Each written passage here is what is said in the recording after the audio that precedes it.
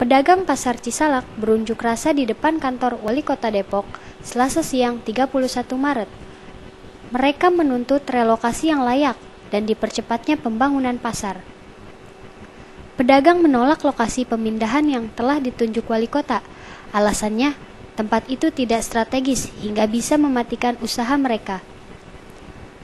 Tempat itu juga dianggap terlalu kecil, tidak mampu menampung seluruh pedagang. Bila dibiarkan, sebagian pedagang tak akan bisa berjualan.